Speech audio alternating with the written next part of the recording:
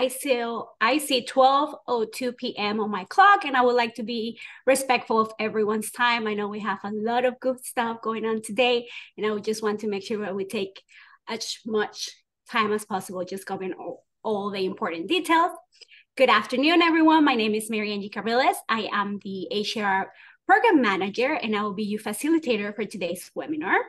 Welcome to today's webinar. It is Doors Open When You Knock. Before I formally introduce today's subject matter expert, I would like to remind everyone that today's webinar it's not for CE credit. Therefore, you do not need to be on camera or we won't be able to hear you. However, you are able to use the chat to ask any questions to our speaker today. Also, we will need a few volunteers throughout the program to do some fun activity with Steven. So make sure that you let us know that you would like to be on camera and be unmuted so we can put you as a panelist, put you on camera and do that activity with Steven. And the people that volunteer to do that, we will give you one of Steven's most famous book, which is Doors Open When You Knock. So just make sure that you keep that hand raised. I will put you as a panelist and then we will have your own camera, okay? Now it is my absolute pleasure to introduce today's speaker, Steven Ross. Originally from Southern California, Steven began selling real estate there in 2005 and for the last 15 plus years in Colorado. Steven said he is the worst type of person to be a real estate agent because he's an introvert. He doesn't work nights or weekends. You can't find him online. He doesn't do parties or events. In fact, he might even be a little antisocial. Yet he built a successful real estate business twice doing one thing and one thing only knocking on doors. Over 125,000 of them. Steven Ross is the author of the book Door Opens When You Knock, a realtor's handbook for boundless opportunity and freedom. He coaches and trains agents to work less, earn more, and not feel guilty about it. Steven, it is my absolute pleasure to have you here with us today. As a reminder, today's webinar is being recorded and we will share with you that recording right after the webinar it's over. So now, with no further ado, Steven, I just pass the virtual floor to you. Awesome. Thank you so much. Good afternoon, Houston Board of Realtors. And I am a fellow realtor. And uh, thank you, Mary Angie, for that awesome introduction. Let me go ahead and share my screen. Awesome. So doors open when you knock. All right. This isn't really a class on door knocking. And I'm going to ask some questions, though, about what you came for. But first, like I said, it's not really a class on door knocking per se, but I am curious in the chat. So we're going to start right off the bat. In the chat, who has knocked on doors before? But thanks, Tiffany. By the way, I love your having to have a resume. Uh, for to make the mac and cheese. Awesome. All right. So Dina, Christina, Layla, Layla, not you. Okay. Perla. All right, great. So those of you that have knocked on doors noted that it's a warm, fuzzy, inviting experience knocking on doors, right? No? How many people, and this, this is the hard part, can't do this like virtually, this doesn't quite work as well, but you got to get, if you're someone who doesn't, who would never open their door for a door knocker, I'm talking to you because if I knocked on your door today and you opened the door by some, the spirit moved you. And then I said, you know, and it was a good conversation. I wasn't super weird or kind of crazy. It was kind of like a really good conversation. You're like, oh, this guy knows what he's doing. And then I said, hey, let's take a selfie. What would you guys say?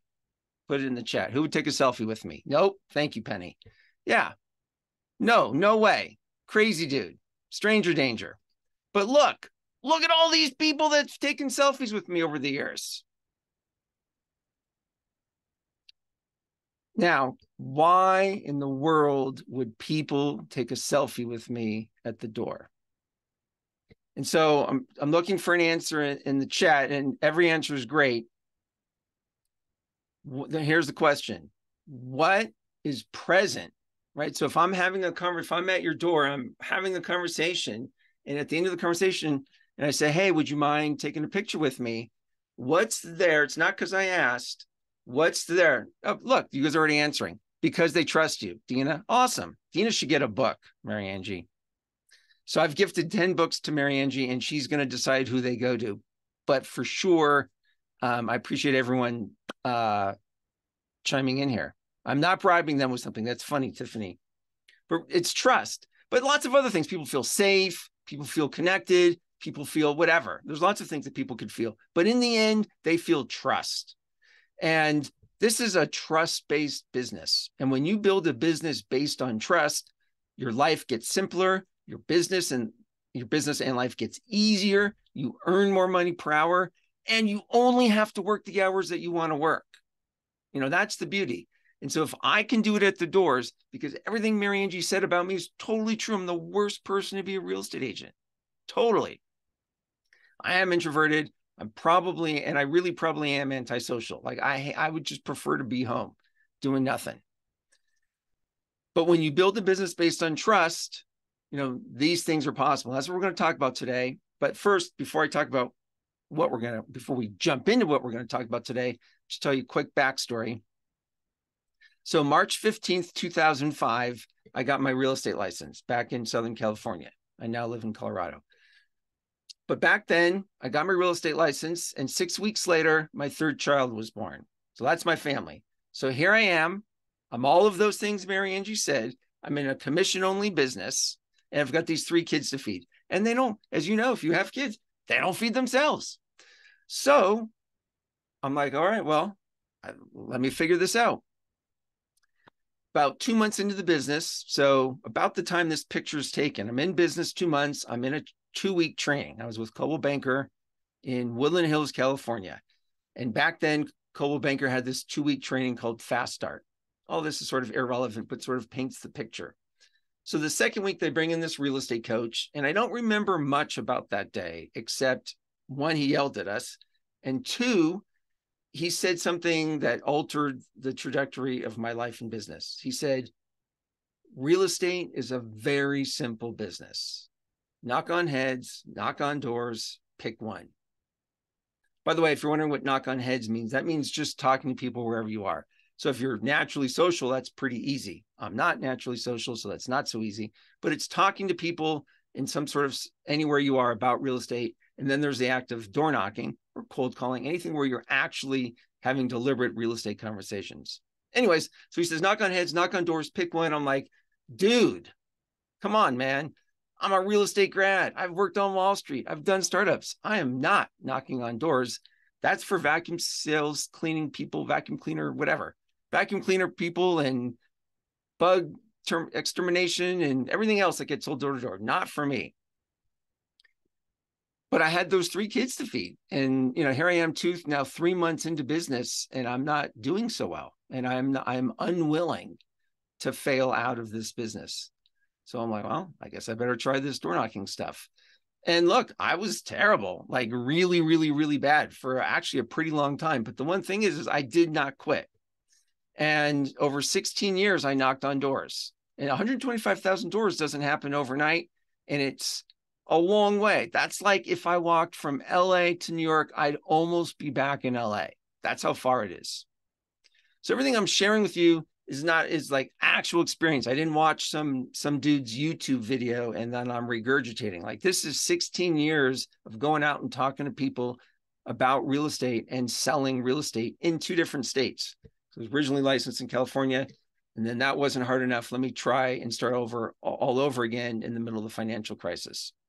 So uh, a little bit about to me about me, but today is for you. So I just want to get a sense of who's here. Um, and so if you're newer, right, these are this is the beginning. This is, you know, you can learn some of these principles and put them into place. Who's been in business less than two years in the chat? Awesome. Thanks to Portia and Nora. Great. Marissa. Now it goes too fast. I can't read. Marcella. Mrs. Lauren Donald. Great. Gisela. Awesome. All right. Now, who's been here a little while, like two to 15 years? I know that's a big range, right? Derek, you qualify. Umberto, Penny. Awesome. Susanna, Brittany. Great. Sam, seven years next month. Congratulations. All right. Now, who's been here a lot of while? I know that makes no sense, but it's kind of funny. Who's been here like more than 15 years? Anyone been around? Like I'm here, this is my 19th year. Awesome. Thanks, Tiffany, Dina. Great. Linda, Carlos. Awesome. Okay. So no matter which category you're in, there is something for you because these principles are universal. And maybe you're at a point in your business where you're like, if you're new, you just want, you know, hey, I want to focus on the basics because I know that's going to, make me successful. If you're in the middle of your career, maybe you've gotten spoiled a little. Don't take that the wrong way. I invite you not to take that the wrong way. You know, the last few years been a little easier. If you've been around, some of you who've been around a lot of while, you know, you like me also remembers when business was a little more uh not harder, but it took a little more discipline. And so we've got something for you as well today. So if we were in person, I'd hand you this card that looked like this. And this, these are my feedback cards. So we're going to have to do this on chat. So I know why I'm here today, but what do you? You came here, you took time, you're taking an hour and a half out of your day here in November. What what did you want? You know, you signed up and now you're here. What do you want to get out of today? And if you don't tell me, it's hard for me to give it to you. New ideas. Susanna, awesome. Be specific. Like what? What would a new idea and what? Best way to put yourself out there. How to create a new lead. Great. Scripts, gaining leads. Stronger door knocking. Awesome. Wisdom on how to create your own lane. Awesome. Learn how to door knock with confidence. New leads and work outside your sphere of influence. Okay, great. Getting out of the comfort zone. What questions to ask? All right, awesome. These are great. Perfect. Need info to be sharp. Perfect. All right, great. Awesome. Well, most of that I can give you. Lead gen is going to be tricky. I'm going to blow your mind when it comes to lead gen. You're going to like want to hang up, but you're not going to want to hang up. Awesome. Thank you, everyone. All right, here's my intention for today. My intention is to give you an access into true, what I consider true real estate success and personal freedom. That is my 19th, I'm in the middle of my 19th year. I've worked in two different states. I've coached and trained with and and for some of the best agents around. And I've seen what works and what doesn't work. So obviously this is my view.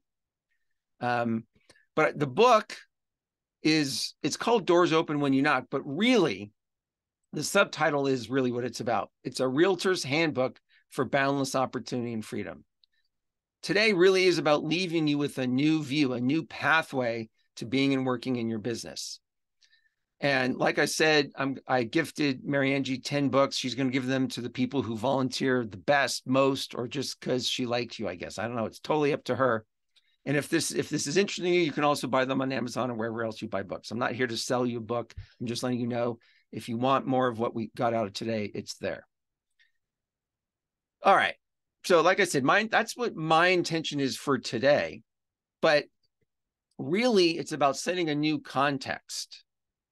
And you might be thinking, what do you mean by setting a new context? Setting a context is like a new view.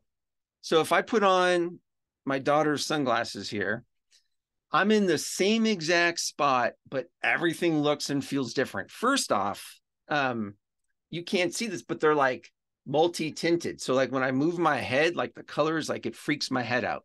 But I'm in the same place, but I have a whole new view of being here with you. And when I say setting a new context, I'm giving you a, you're already in your business, but really by the time we end today, you're going to have a new view of how to operate your business.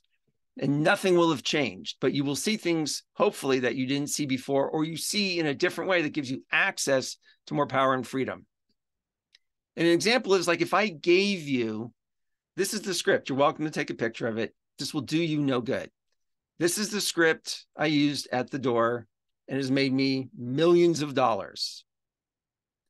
But without the context behind it on how to use it, who you have to be, and how you approach it, it's totally worthless. Maybe not totally worthless, but it's pretty worthless. So setting a context today is giving you some power behind how to operate in your business because by default, the business, my view, has a has a very what I call hard and unfulfilling way to be in real estate. And so there's three ways, three substandards that I call them the grip of the industry that really keep us from having any true power and freedom in this business. And the first is that our identity is based on our production, that who we are is our sales volume. If you sell a lot of homes, you're amazing. If you don't sell a lot of homes, not so much. And it's not what other people say about us, it's what we say about ourselves. And you know what I'm talking about. And there's nothing wrong with selling lots of homes. If you're number one in your office, awesome. That's not my point here. But the industry, as you know, makes this whole thing about ranking and who's, you know, who's number one and blah, blah, blah, blah, blah. And I've been on this and I'm that. And who cares, really? And it gets out of control. I saw this post. I thought this was hilarious. Top producers in the month of October from 10 1 to 10 4 23, Fernando is ranked number five. I mean, are you kidding me? That's ridiculous. First off, who cares? And secondly, it's totally unimportant. And then, of course, just the thing that makes me laugh, totally unrelated to my point, but just the nonsense of our industry. Disclosure if you see that you're not even spelled right, you're not, or in the numbers are off, please let Mr. Excellence, that's the guy who writes this post, Mr. Excellence makes mistakes and sometimes forgets. Aha, great way to be excellent. Anyways, so there's so the industry is this thing that who we are is our production. And so for years and years and years, here I am at the doors. I mean, look, everybody look, look at this picture. What a knucklehead. Seriously. Total clown, yellow shirt, goofy hat.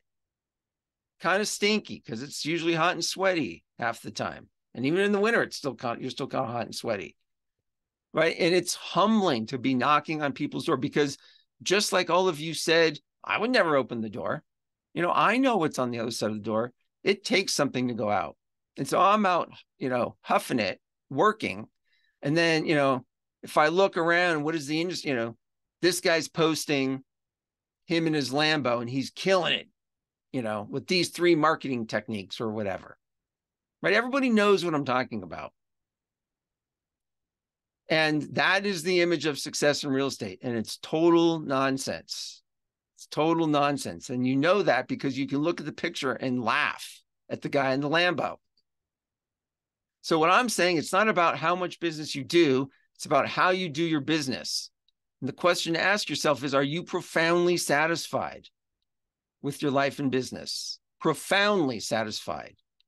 And I suspect it's not based on how much business you do. It's about how many hours are you working or what are you earning what you're capable of or combining your time and money to have a high quality of life. We're going to talk more about this. But the first thing is, right, the, the industry says our identity, who we are is our production. I'm saying nope. So the second thing is something's better than nothing. I'm also going to say survey says, eh, right? Totally not true, both in terms of who you work with and the fee you charge. There's no amount of money in the world that would get me to work with a jerk. I don't care how big a house or what the commission is, I'm not doing it. And I'll talk about that. And this last one, if you, especially if you're new, you fall into this trap. I just got to be available 24 7. And that's a surefire way to burn out. And this meme is funny because it's true, right? I remember days off before I became a realtor, you know, it's total ridiculousness. So in the chat, who takes a whole day off every week? And don't say me, tell me what day. So if you take a day off, what day do you take off? Sunday. Great. Monday, Sunday. Awesome. Sunday. Now here's the real question. Monday, Saturday, or Sunday. It's tricky having one or the other because then sometimes you end up working both. Sick day, okay, usually Saturday, to usually suspect. See, is it Daruk? At least you're being off honest. You still answer the phone calls. That's not being off. I mean, who takes a day off and you shut your phone off? I would bet. Awesome. Thanks, Bertha. Yeah, most people, most, when I ask this question, most everyone's like, oh, yeah, I take the day off, but not really. Take the day off, but not really. And my phone is off on Sundays. You cannot get a hold of me. And I still have plenty of business. So, what I'm saying, these low standards is a surefire way to get to the bottom, to be miserable. on some level. And I don't mean totally miserable, but to not be profoundly satisfied. Because in general, the business wants us to hustle and work harder, blah, blah, blah, blah, blah. And that's exhausting. And if you don't believe what I'm talking about, here's here's the example that we're going to dig into today. All right, wait for this. So, you're to everyone has a database. Pretend you have a database and you have 200 people in it. I don't mean 200 leads. I mean 200 people um Zyra, Zara or Bertha or Adrian or Penny or Marissa that know you, Marcella, that know you, Tiffany, as a realtor. They know you as a realtor, they like you as a realtor, and the odds are pretty high that when they have a real estate need, they're calling you. That's what I mean by 200 people in it. So if you have a database with a thousand people in it, I suspect they all aren't what I just described. Does everyone get that?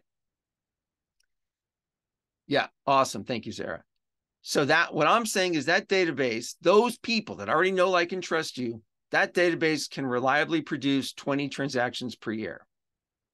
And if you have any doubt about that, that's probably too low because if just five people moved and they bought and sold, that's 10. So you're already halfway there. If you have an average sales price, I don't know if that's a, a correct, I don't know that what everyone's average sales price, but I picked what I thought was a fairly reasonable number. You can adjust for your own business. 350 and an average fee of more because probably whatever you're charging is not enough.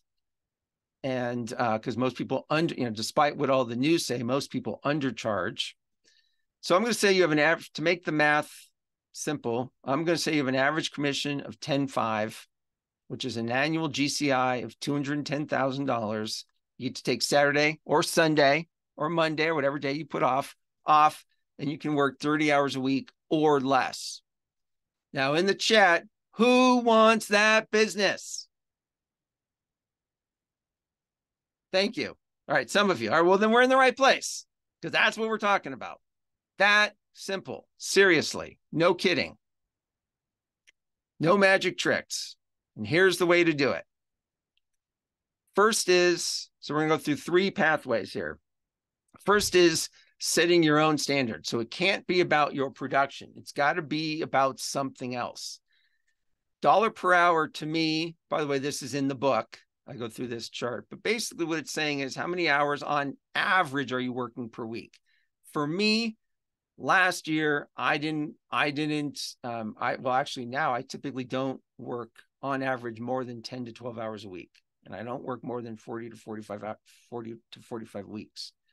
And even when I was full time, like not doing this, I still never worked more than 30 and generally it was closer to 25.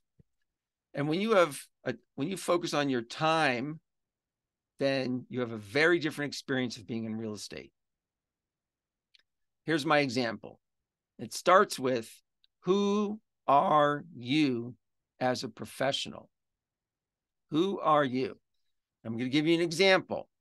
So here's other professions, other professionals, starting with management consultants. They seem to make the most amount of money you know, I won't explain who McKinsey and Co are, but basically, if you're a Fortune 50 company and you have a big problem, you the first person you typically call is McKinsey and Co, and you pay those guys upwards of $1,500 an hour. And then it goes down. Your partners at niche law firms and other professional services firms, and even in medicine, surgeons make more money, right, than a general practitioner. And then when you get below that, you get people who make less than $100 an hour. You get into sales reps, medical sales, and then the and then you get into tech sales, auto sales, retail sales, so all the way down to 12 bucks an hour. So, all right, in the chat, what's the difference between the people at the top and the people at the bottom? What's the difference between the people making $1,000 an hour or more and the people who are working for 20 bucks an hour or less? What's the difference? There's no wrong answer. There's lots of answers. There's work, skills, specialized skill, knowledge. Yep. Great education systems. They can charge, oh, excellent. They can charge what they're worth. How they value themselves. These are awesome. Education, expertise. Let me pick on the education for a minute. Anyone know, All right. Awesome advice. Advice given. Great. Is that Vivian? Yeah. You know how long it takes to become a neurosurgeon? Anyone know? Years, right. It's 17 years. That was good guess, Susanna. 18. Seven. You guys, that was some good guesses. 17. Four years of college, four years of med school, nine years residency before they let you on your own to go operate on a brain. What about realtors? Take a test and out you go, right? In weeks, months, tops. So the difference, all of those, everything you guys said is totally true. The difference is that the people at the bottom are transactional and the people at the top are consultative. Another way to say it is the people at the top are solving bigger problems and people are willing to pay for them. So for you as a realtor, are you selling houses or are you solving problems for people? Because anyone can sell houses. Anyone. That's the whole point of all this other nonsense in the news. Anyone can sell houses. We know that's not true. But if you are solving problems for people, people are happy, happy to pay you your fee. Happy to pay you your fee when you're solving problems. And many realtors make less than $50 an hour. So here's another way to look at it. This was by McKissock Learning and the their experience was that realtors who made more it wasn't that they earned more per hour they just worked more. And that's not what we're talking about here.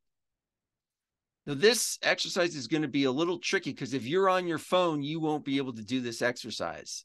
But if you're on a computer i left it in because i'm hoping some of you i don't want to cheat those of you that are sitting at a computer or having a separate device where you can do this and if you are on a separate device um, and you want to scan the QR code, it's going to take you to this little uh, uh, form and it's going to calculate your dollar per hour. And by the way, you're the only one that's going to see this. No one else is going to know what your number is.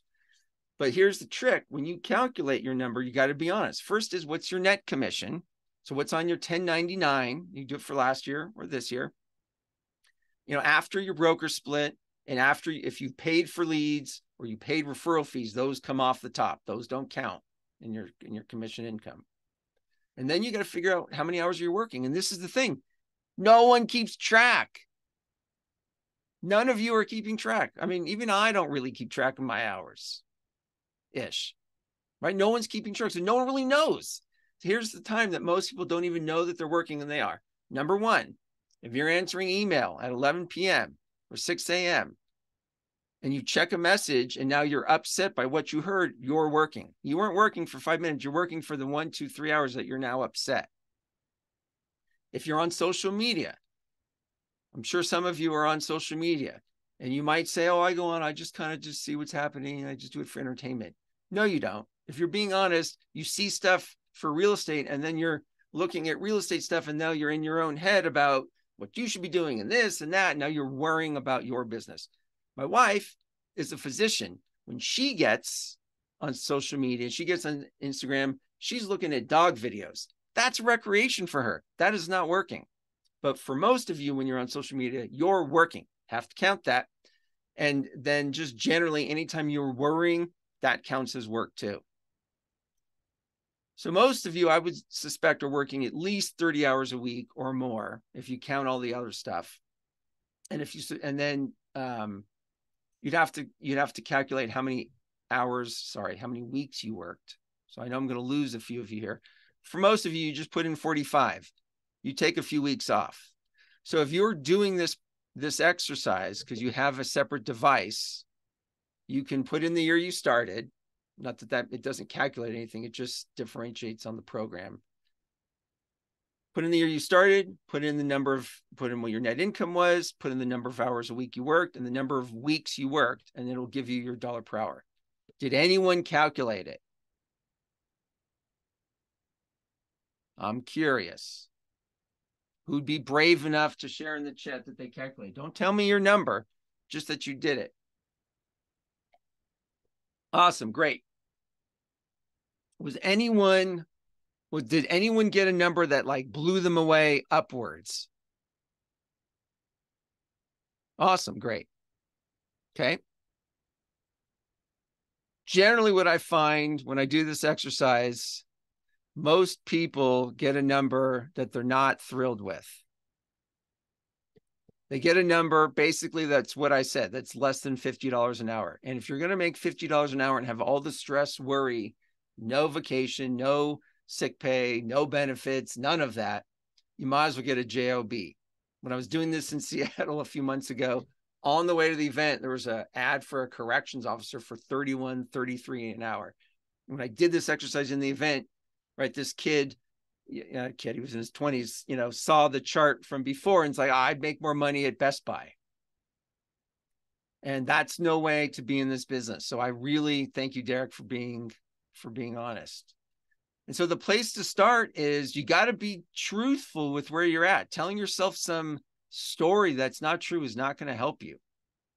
And so this is about raising your standards and I lo- I'm going to read this quote from Tony Robbins because it's powerful.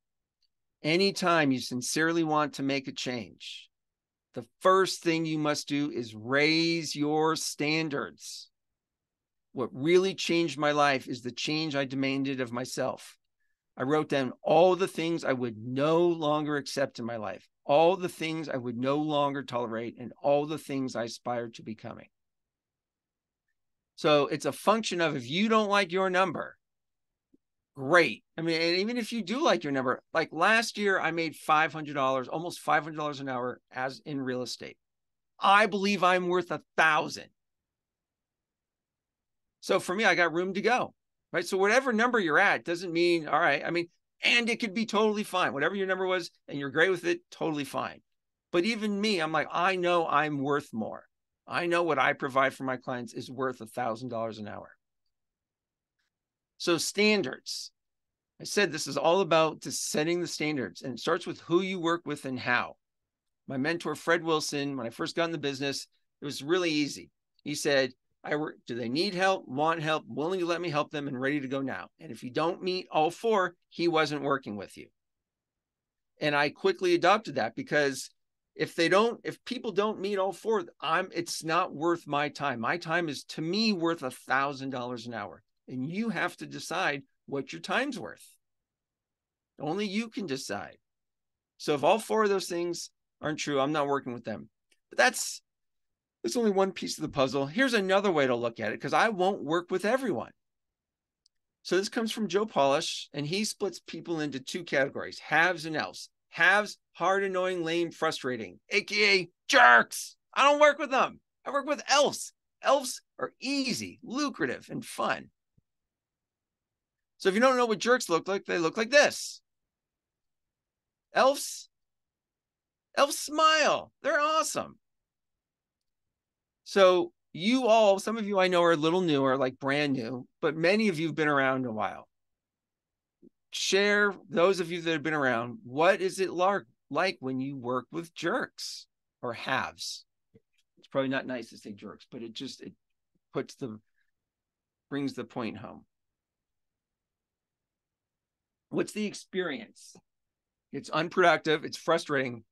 For me, it makes me want to quit the business. When I have a jerk, and that's why I just absolutely refuse to do it anymore. It's tedious. Tedious is it. That's an excellent point, Adrian. like surgery with no anesthesia. I'll tell it to my wife. She's an anesthesiologist.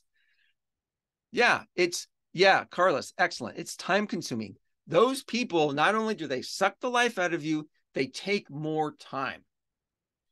And you, if the only thing annoying, taxing, yeah, all of those things.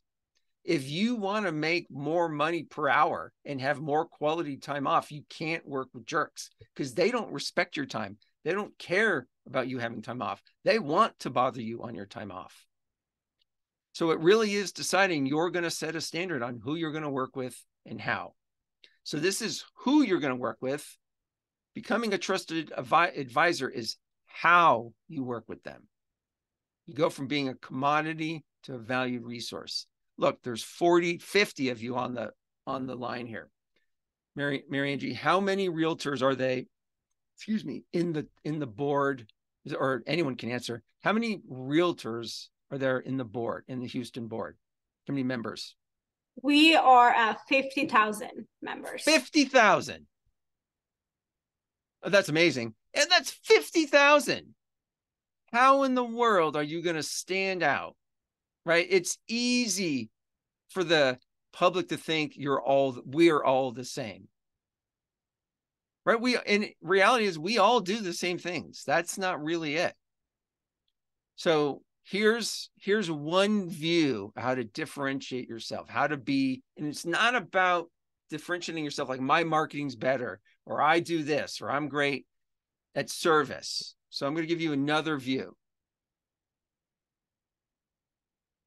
So if you look at a real estate transaction, at the very basic basic level of the pyramid is you have the needs of the transaction, which is essentially paperwork. Above that, you have service. Some agents and some teams are excellent at service. I'm fair at best at service. I do what needs to get done, but I'm not really service oriented. Above service, because I'm really good at the next two. The next two are relationship and being a trusted advisor. Before I get to those two, you don't need relationship and trusted advisor. Many of you, if you look, and some of you, like I, you know, you've already said, you've been around a while. I know it's not just me. I've had plenty of transactions. I met someone at an open house. They were referred to me. I met them at the door. I had plenty of transactions where we met, we had no prior relationship. I never really got to know them. I was never really connected. I wasn't really sure if they ever really trusted me or believed me. Deal got done, never talked to them again for whatever reason. We've all had those. That's not where your business is. It happens, but that's that should be 20% or less of your business. Your real business is when you develop a relationship and become someone's trusted advisor. And you do that as a function of your business experience and your ability to, to create deep and trusting relationships. So it's it's your real estate IQ. Do you know the market? Do you know the contract? Do you know anything about homes? Do you know the buying process, the listing process? Do you know how to negotiate? Some of that's just time, right? So if you're new, it's going to take you some time. You know, a little plug for the doors. The doors will make you smarter faster. There's nothing else you can do to learn the market and get better at talking to people than going to the doors. And period, nothing, nothing.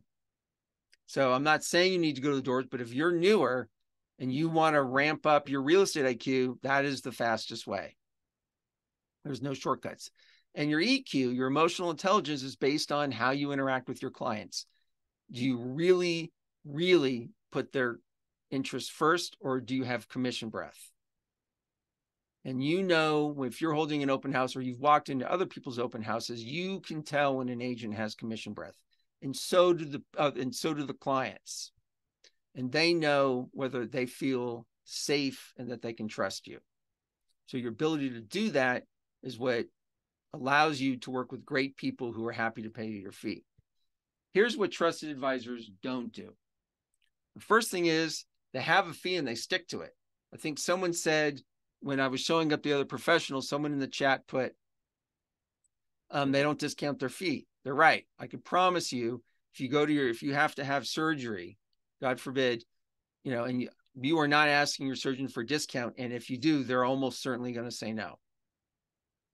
So I'm not going to talk a lot about it other than it's black or white. There's no sort of. You either do or you don't. And the next thing is, and this is where I need I'm going to need a volunteer. But before, so if you if you are willing to play with me for just a minute on a role play, raise your hand so Mary Angie can um, put you up as a panelist. But while one of two of you are doing that, someone else in the chat, what do you think I mean by free consulting?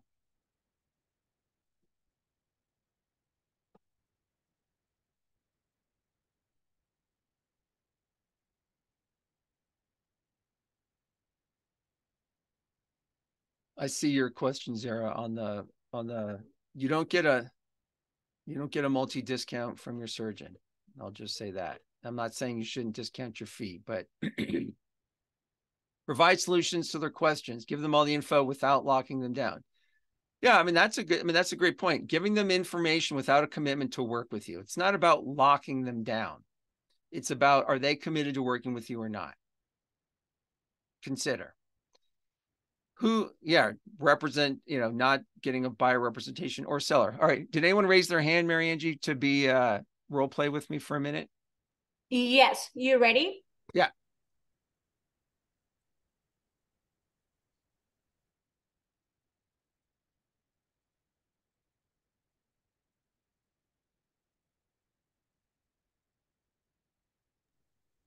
All right, Diane. Awesome. Thanks for volunteering. So don't worry, I'm going to do all the heavy lifting. So let me give you a great example. So everyone, we're going to do a great example of free consulting. And it typically looks like this. So Diane, you're going to be a homeowner. Okay. And you're going to call me. Right. I'll, I'll, I'll do the first part and then I'll tell you when we're going to role play. So Diane calls me. She knows me because I've knocked on her door and we've met a few times, but I don't know her super well. So she calls me and she says, Hey, Steven, I've had enough of humidity in Houston and I'm out of here. I'm going to, uh, I don't know, Los Angeles, whatever. She won the lottery and she can afford a beach house in Malibu. She's going to Malibu. And she says, So she says, I'm going to Malibu. I'm interviewing agents. I would like you to come over and tell me what you can do for me and how you're going to get my home sold and what my house is worth. That's what she says. Now, everyone, you are all going to Diane's house, right? On that call, you're all going. Let's be honest. I am not going. I am not going. I'm listening for the call that says, Hey, Steven, I've had enough of Houston. I'm going to Southern California. And I would like you to come over and help me figure out what I need to do to get to California. It's very different, subtle, super subtle, very different.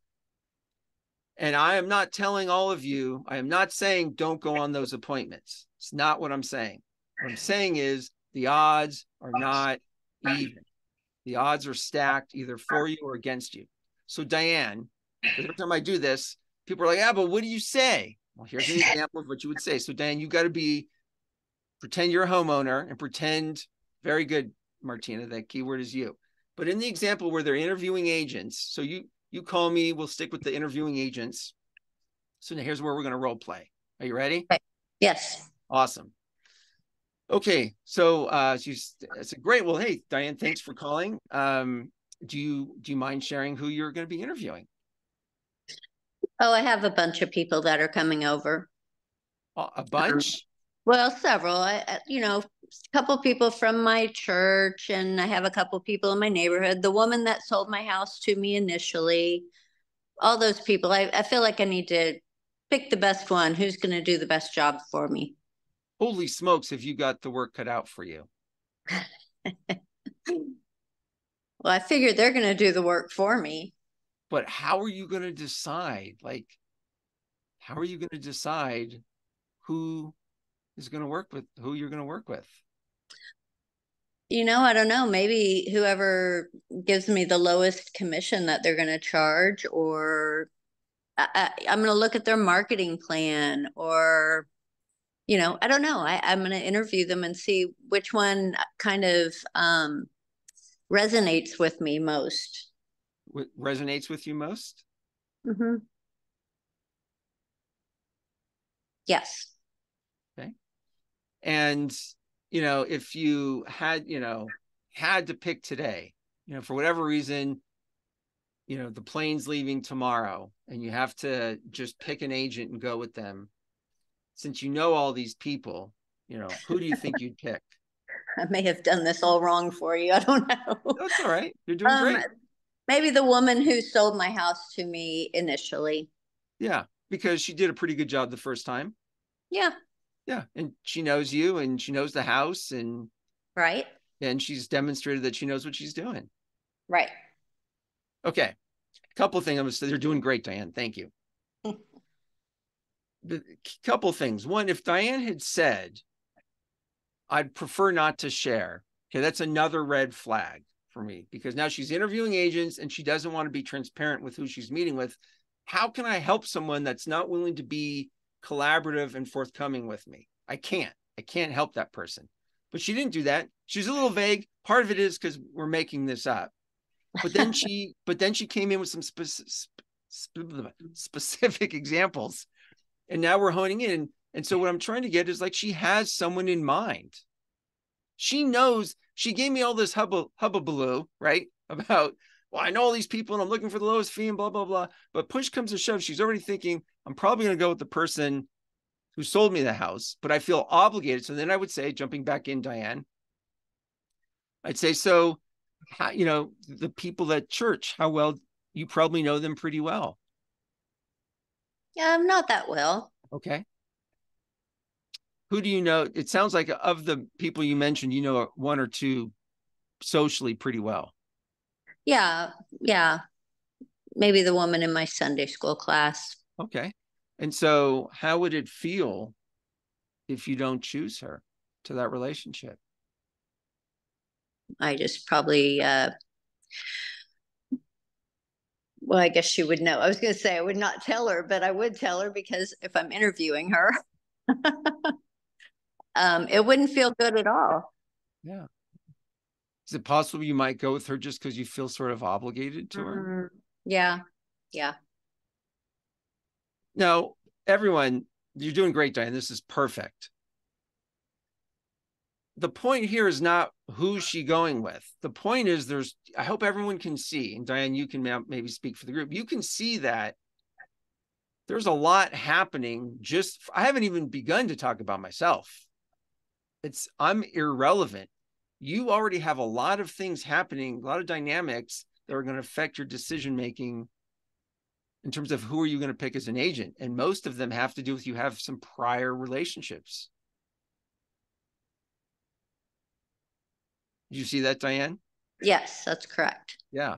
And you know normally when we go into these appointments we're like all right i'm going to knock them dead. I'm going to get all my stuff and i'm going to wow them. And it's a total waste of time. It doesn't mean your odds are zero because you will win some of them but the odds are low because in this case diane's got some relationships with people that at the, at least at this surface level are going to be a little hard for me to overcome. So what I'm going to say is, you know, it's a great question, Daruk. Is it is it Dilruk? I'm not even saying that right. Dilruk. Um, what I'm going to say is, Diane, it sounds great. Um, a couple of things. Um, the first is, uh, well, actually, I'm do it this way first. If you don't mind, um, meet with everyone on your list. And if you don't hear what you needed to hear, would you be opposed to giving me a call? Oh, I like that. Because I'm not going to go in and compete, right? I'm not doing that. And the odds are she's not going to call me. And I'm totally fine with that because now I've just saved two hours of prep, half hour of driving there, two hours or an hour and a half on the appointment, and then three days worrying about am I going to get the listing or not. That's right. a lot of time. You can't make a lot of money per hour when you're spending all that time with people where the odds are low that they're going to work with you. And she mentioned fee, but let's just say she was only meeting with two other people. So we're going to shorten the scenario and let's say it's not as clear, you know, that she likes the agent who sold her the house. I don't need to convince her. There's no convincing. If you want to earn a full fee, you are not going to do it convincing. by the way, this is totally, I forgot to preface all of this is totally against everything you've ever heard. Totally against, right, how you've been trained as a real estate agent for most of you. Not all of you, but most of you. And and I'll show you where this is all rooted from in a second. But Diane, let's go back to the example of it's um it's just like there's three of us. So the woman that sold you the house, a friend from Sunday school, and me. Okay. I say, so great. Well, tell you what, why don't you meet with them? And then uh I'll get you a second in a second, Dilruk. Why don't you meet with them? And then um and then I'll I'll I'll meet with you last. Is, is that a, would that be a problem? Uh no, that's fine. Okay. And just so you know, the way it works, the way I work is when I come over, it's a meet and greet. So we're not, I'm not doing any marketing. I don't, I don't bring my marketing plan and I don't bring pricing. So you know, it's just, can I help you? And, and do you feel comfortable with me representing you? And if that, if it's a fit, then 100% I'll come back and we'll go over all that information. Okay. Okay. So Delru's question is I'm confused. Where are we heading? Where we're heading is no free consulting. This is super advanced stuff. Some of you are newer. I can't remember, Dilruk, how long you've been in business. So I said there's a little bit of everything. Very good, Martina. It's about not wasting your time. If you're going to go to the doors and talk to people, you have to get better. It's not better at convincing. You have to get better at listening to what's happening in the situation you're at. If you want to make a thousand dollars an hour or more in real estate, you have to learn to listen. You have to learn to engage with people in a way that makes them feel safe. So, in this interaction, Diane, did it feel like I was being rude or obnoxious or flippant? Not at all. Not at all. Mm-mm. I'm a professional. I'm trying to save you time as well. No need to meet with me if you're if you're really just going to use the other people. So this is what it looks like to be a trusted advisor. The whole conversation is nothing about me. It's about the person I'm talking to and what's happening in their world. So that's the point. This is, and again, I've got an hour and a half. It's a webinar.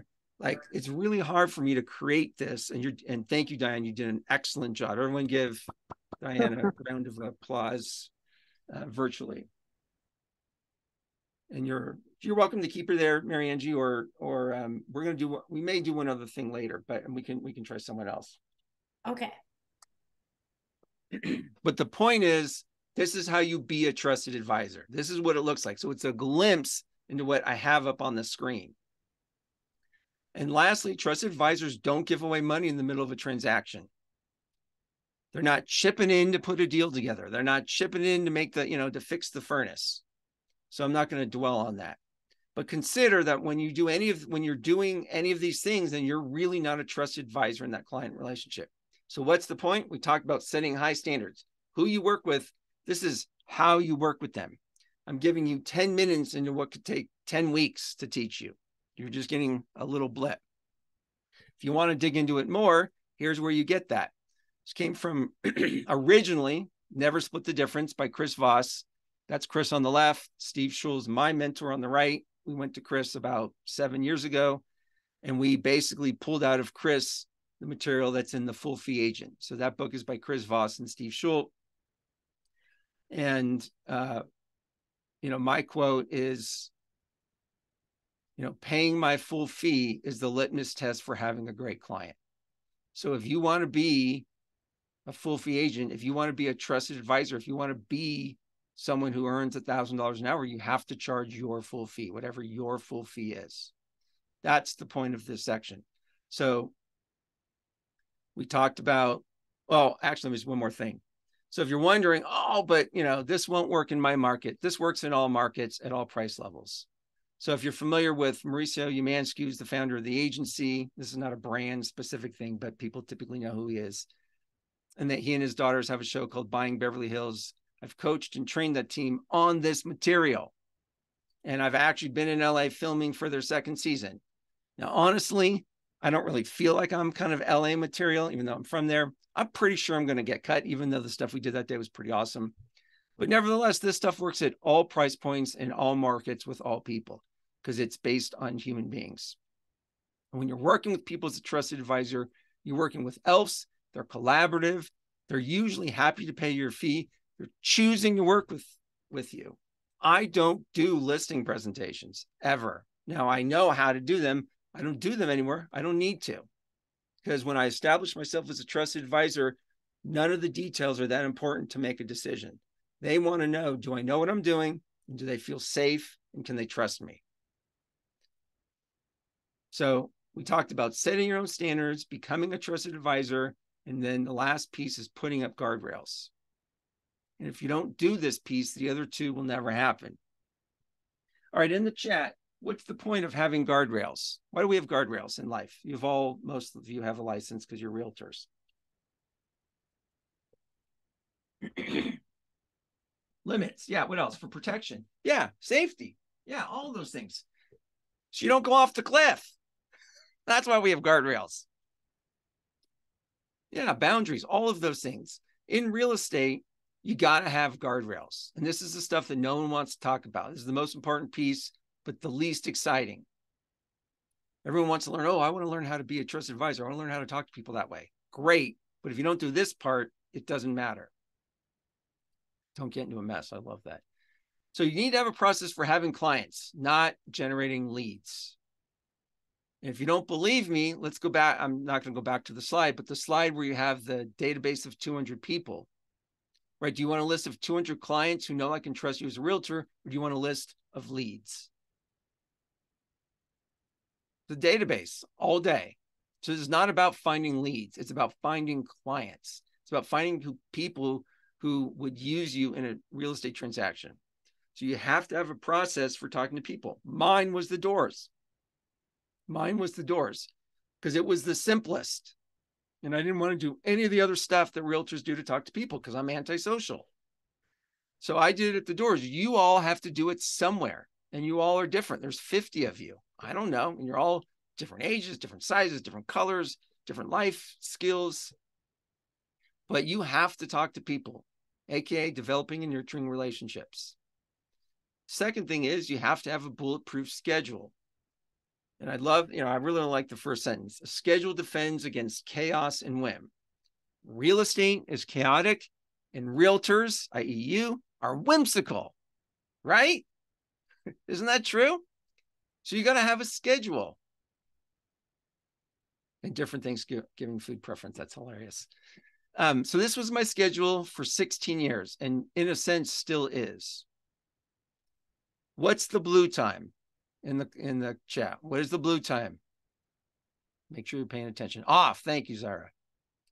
If you call me on Sunday, not going to get me. Call me at 7 a.m., not going to get me. Yes, it's my free time. I'm off. My phone is off. I'm not answering messages.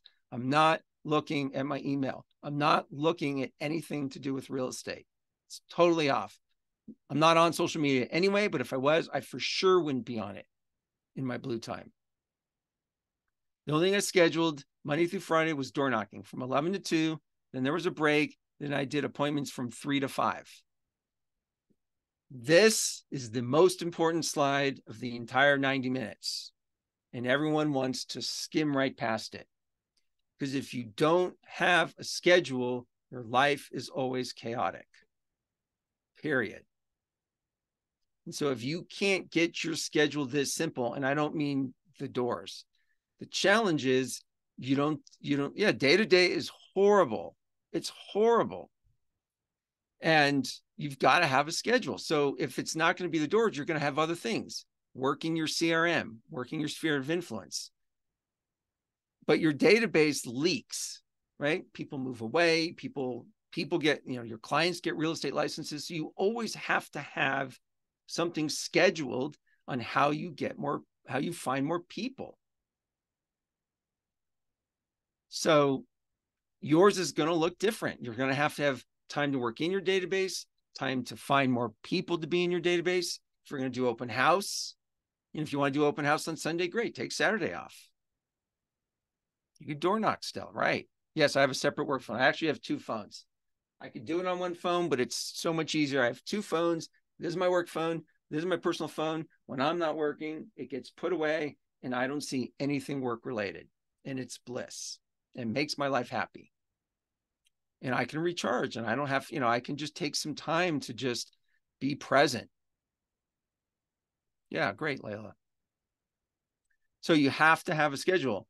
And, you know, in the interest of time and given our format, you know here's the re- why won't this work for you the first reason is you don't have it that clear what what it is that what is your the first thing what is your process for talking to people so you have to get that squared away before you put it on the on your schedule and then the second thing is you have to have a spot where you do appointments and you have to stick to it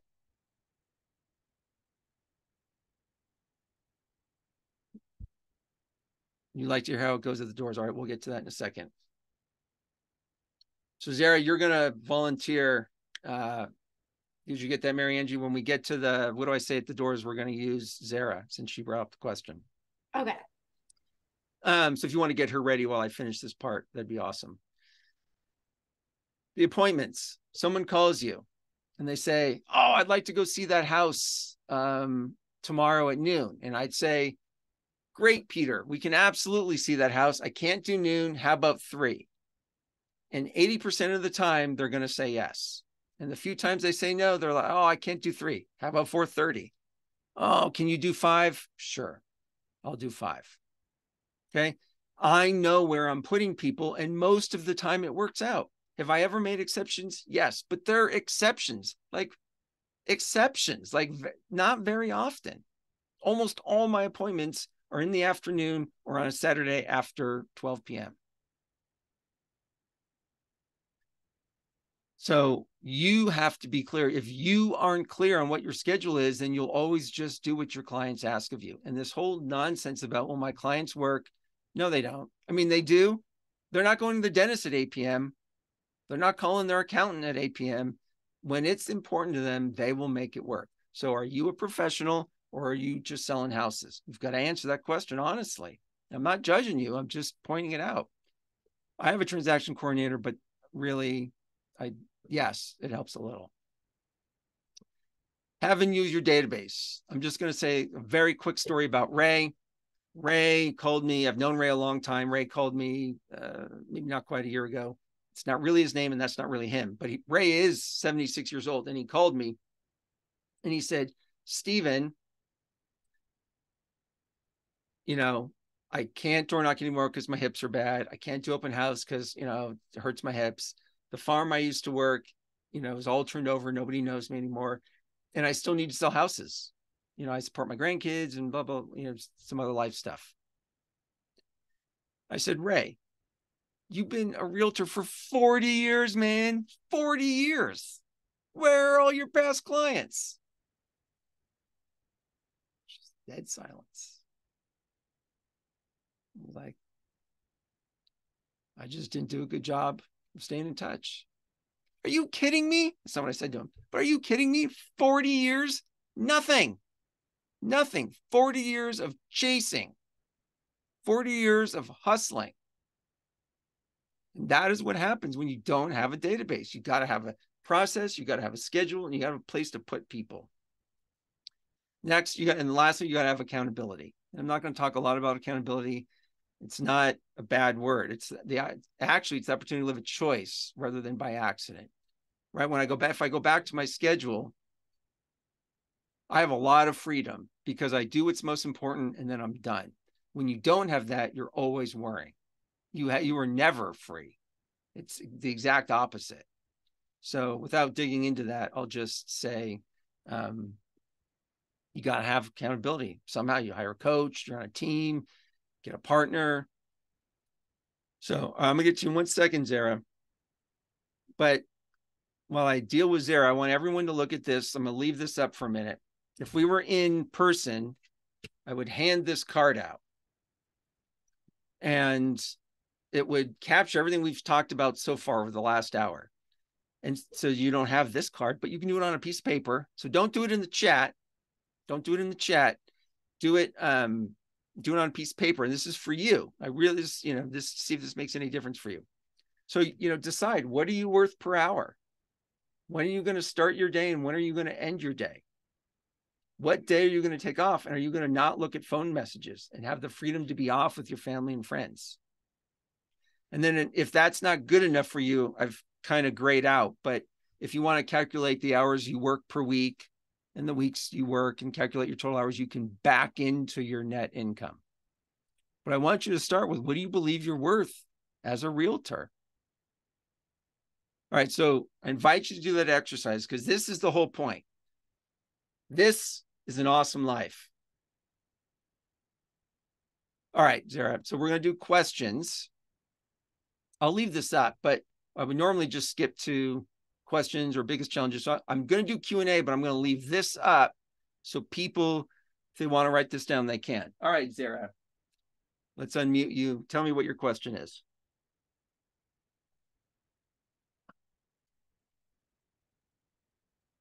You're not unmuted yet. Let's get there. You go. I'm sorry. Can you hear me now? yeah, perfect. I was talking. Hi, everyone. Um, thank you. Thank you, Steven, for um, choosing me. I'm not sure why, but I'm here. Your your question was something about like what happens at the door. Yes, I mean, uh, to be honest with you, I've never knocked on a door, so I will be very interested to seek for any advice on how to motivate myself to go and knock doors and what to say when you're Yeah. knocking and someone is opening that you don't know. It's like cold calling, right? It- is like cold calling, but it's better because you're in person and you're a face. So all right, so here's what we're gonna do. We're gonna do. You're gonna be a homeowner. I'm gonna knock on your door. Okay. Okay. I invite you not to be a jerk because then the I'll be done in like 10 seconds and that, that won't you know, be kind of nice. And um, to answer your whole question would take another hour. We don't have another hour, but Mary Angie's recording this, so you can go back and listen to this whole thing again, and you can listen to this interaction specifically. And if you listen to it multiple times, you're going to hear different things. I'll explain some of them after, um, but it'll give you a better sense of who you have to be at the door to do it successfully. And some of you Okay. asked this question, so I think this doesn't. I think this answers not just your question, but several others. So we're gonna, so we're gonna we're gonna do it. All right. Okay. I need a drink of water because I've been talking too much. All right. You ready? Yes. All right. Knock, knock, knock. Hi. Hi, it's Steven the Realtor. You seem busy. Is now a bad time? Um, well, I was trying to make some lunch for my family, but that's okay. I have a, a few minutes. What What I- can I do what- for oh. you? What I have to say will take less than two minutes. Oh, okay, great. Awesome. So you probably have um, no real estate plans this year. No, not really. And if you have no real estate plans, you're probably not paying too much attention to the market.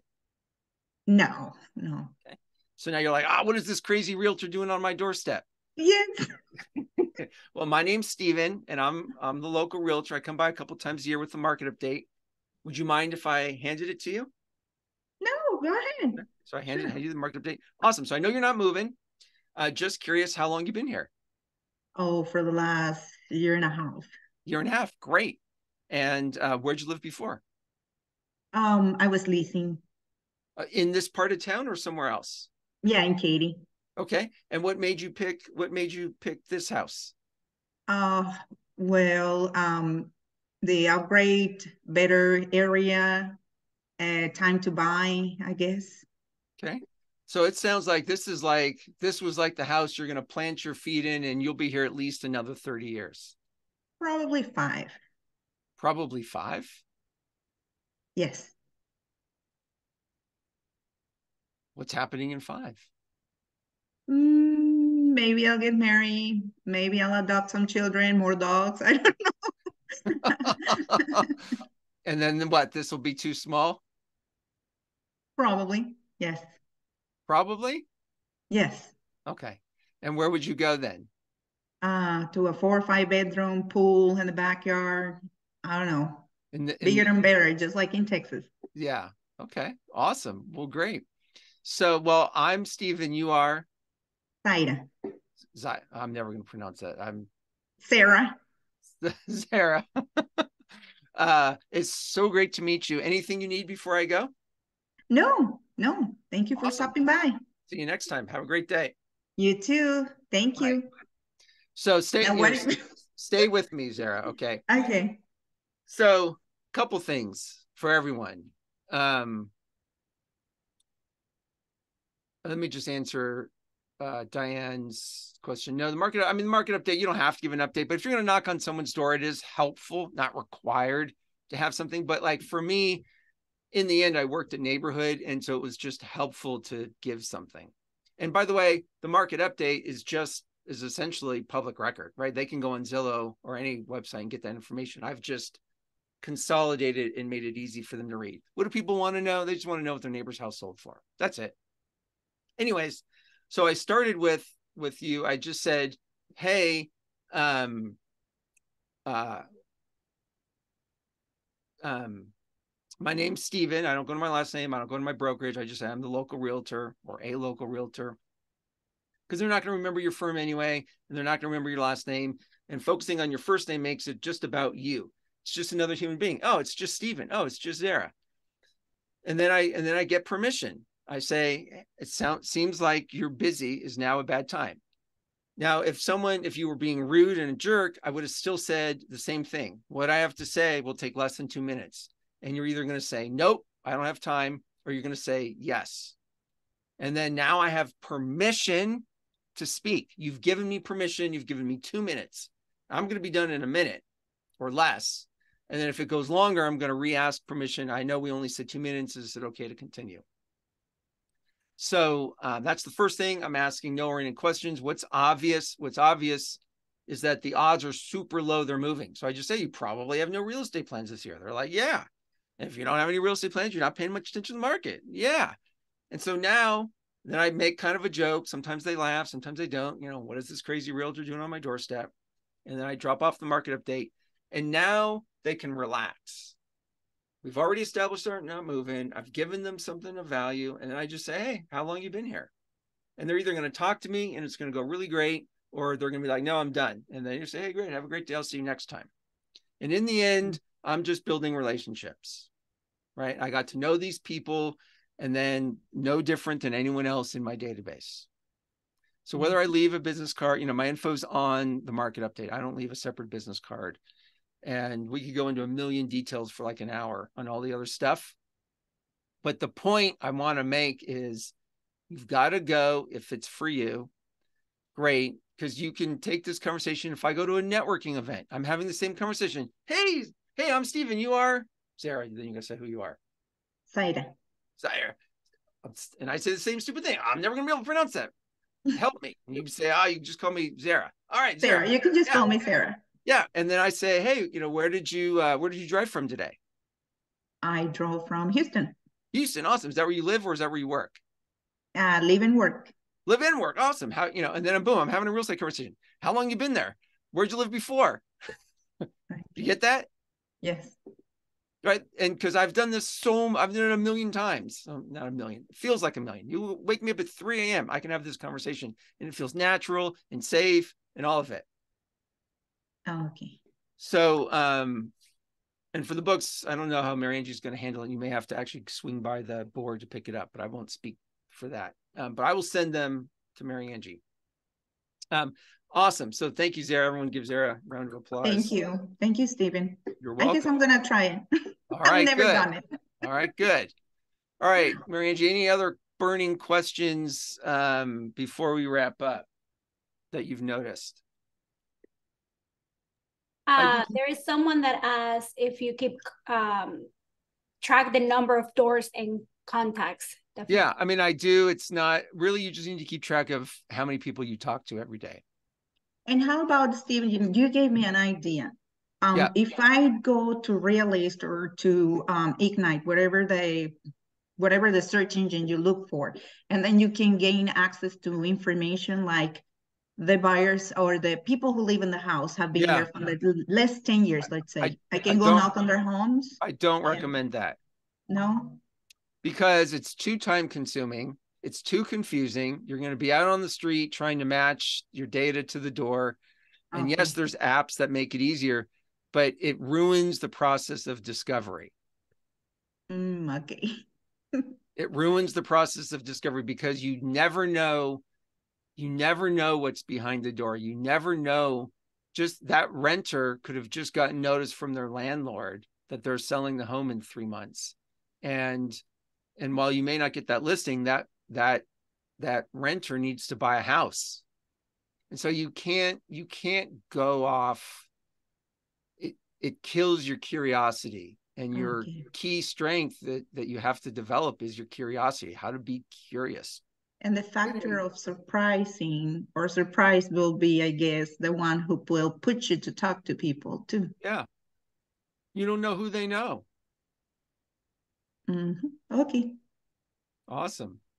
Yeah, I mean, so I talked about keeping track. Um, let's see what else was in there. You know, how many people do I speak to? I mean, uh, on average, I would talk, I would get to about 30 to 33 doors an hour and you know 20 to 23 percent of the people would open the door more people were home, but that's who would open the door. Um, yeah, awesome. Any other questions before I go to uh, wrap up?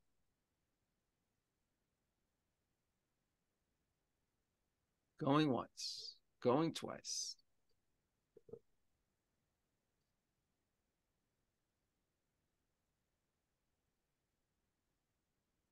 Um, obviously, I recommend my book. The second book I would recommend would be The Full Fee Agent, which I showed before, um, by Chris Voss and Steve Shull. I'll put that in the. Um, that would be, and then you know I have a whole list of books. You can. I'm gonna put my email and my calendar back on. People can follow up with me if uh, if you have any other questions. So let me go back in. I'll wrap this all up. All right this is the context you probably walked in with, right? It's the hard and unfilling way to do real estate. I call it the grip of the industry, right? Our identity is based on a production. Something's better than nothing, and we have to be available 24 by 7. And I hopefully uh, convinces the hopefully I've shown you a way that that's super unproductive if you want to have boundless opportunity and freedom. And that if you do, your pathways out are set your own standards in terms of who how you're going to work and who you're going to work with develop yourself as a trusted advisor. Stop trying to outvalue. You'll never outvalue the other 49,999 realtors. We all do the same thing. It's how we do it. And lastly, put up guardrails. If you put up guardrails, it keeps you from falling off the cliff. So, again, if I we were in person, I would have you would have this card and you'd be filling it out and turning it into me, which you're not going to be able to do. But I am curious if you can put it in the chat. So you came in with one thing and now you're leaving. What is it that you're leaving with that you're like, ah, the thing I could benefit the most if I got some help with what? You we talked about a lot. We talked about, you know, setting, you know, calculating your dollar per hour, setting your standards, setting your hours, setting up your process, setting up your schedule. So yeah, great. Thank you. So thank you. Uh that was encouragement. Great. It's great being true to yourself, your calendar. Awesome. What are you leaving with? What do you think you need most help? What's the thing you need to work with? Yeah, great. Time blocking, your calendar. Perfect. A separate phone. I love it. Awesome. Great. Love it. Awesome. Hey, you guys were listening. Thank you. I appreciate it. All right. So, does anyone mind if I ask you a question? I know it's rhetorical. Is there anything unclear about going from where you are to where you want to be in terms of the process we outlined? I think the answer is no, right? There's nothing, everyone gets it. It's pretty straightforward. The challenge is what? Doing it. And how are you going to keep it so that with so many distractions coming at you? I mean, that's the challenge, right? Here on this call, this seems so simple, right? It's so simple but doing it is so much harder. And, um, you know, I find people to do that with. Find people to do that with.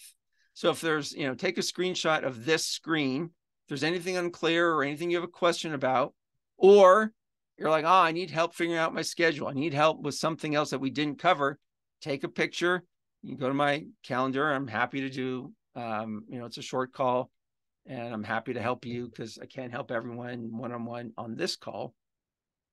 And I invite you to do that soon. Like tomorrow, I'm going to be in Milwaukee. Most of my days blocked out, but I still have time on Thursday and Friday. Do it before the before Thanksgiving while this is still fresh in your head.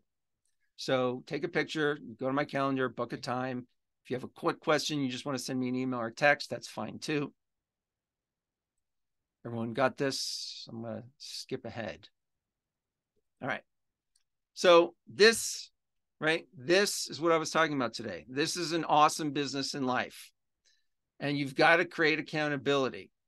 The other thing about accountability, accountability supports your promise rather than your mood. Thousands of times I had to get in my car and get drive into a neighborhood and get out of the car and start knocking.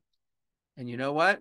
Peter, Derek, Dina, Diane, Layla, Zara, Adrian, Brooke, Never, ever. I never, ever, ever, never, ever felt like it. Never. I never woke up and said, woohoo, I get to go to the doors today. Never. I never felt like that. Never, ever. Never. What I ne- what I never felt like door knocking, but I love the feeling of having knocked. So when you create accountability, support your promises rather than your moods. Your feelings and your moods are unreliable. So if you are committed to implementing any of the stuff we talked about, it, you're never going to feel like doing half of it. You've got to create accountability or you're going to go off the cliff. Worst, you go off the cliff and then you climb back up and then you do it all and you get some momentum and then you fall back off again. So I invite you to find accountability. And when you do that, you transform, right? You have a higher quality of life and more capacity, more financial capacity to use it. So, oh yeah, those kids. Good news, I didn't kill them. They actually turned out quite nice. They're all responsible young adults. and this is not about me and my kids. This is my point. if you don't have kids or you don't like kids or your kids are grown, again, not the point. You just get with the example. That's my the middle one there is my son Evan. He graduated college in May. And when I was there, what I was absolutely present to was that I got to raise the, I got into real estate to raise these kids, not to be number one, not to make a million. I mean, I made money, but it wasn't to make a million dollars. It was to raise these kids. And I got to take them to every baseball practice. I took them to religious school. My daughter was a dancer. And I, every day for years, I'd take her to her bus, take her to her dance studio. Like I I got to be a part of all of that and still have a great business. And the point is, all of everything we talked about lets you have a life outside of your business. And if you don't have a family or your family's grown, there's something else that's important in your life. I'm asserting. So all of this works for you and your life. I really appreciate everyone being here. Here's my info again. If you want to schedule time on my calendar, or you just want to send me a quick note, you're more than welcome to do that. I will get the books to Mary Angie probably. It'll probably take a couple weeks because I the way they get ordered, it probably won't be there till after the Thanksgiving. But we'll let Mary Angie figure. You'll have a list and you'll figure out how they get their books. And that's all I got for you.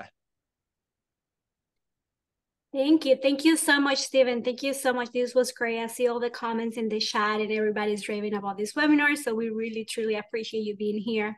Uh, so for the books, I do have a list. I will be emailing you if you got a book. I will just uh, let you know right now that to be very patient with us. Like Steven mentioned, we probably will get these books after Thanksgiving, and then I will let you know when they're here so you can come pick them up at HAR Central. And before everybody heads out and leaves, let me just tell you that we have a few webinars coming up. Um, if you like this one, you're gonna love the ones coming up. We have one tomorrow, uh, given that it was Veteran Day just a few days ago we are going to do a webinar all about VA loans and what that looks like in Texas and in the Houston area. It's going to be a panelist of experts. So if you would like to join us for that, I will put the link on the chat. And also on November 20th, right before Thanksgiving, we would like to offer you an AI webinar talking about how you can use AR to market yourself in the real estate industry. I'll put both of those links in the chat for you. And we will give you the recording for this specific webinar, right? Um, tomorrow, between tomorrow and the day after. So just be in the lookout for that in your emails. And Steven, anything else you would like to say? Just I really appreciate it's so easy for people to check out on the webinar. And I could tell through the chat that people were paying attention and participating. And I, I really do appreciate that because I can't see you. You can see me. I'm just imagining you there and um, it really does make a difference. So at least for me, I just want to say thank you for your participation and your listening today. Perfect. Thank you. And I will hope to see everyone either tomorrow or next Monday for our next webinar. Thank you so much. Thank you, Steven. Thank you. All right. Bye-bye. Bye.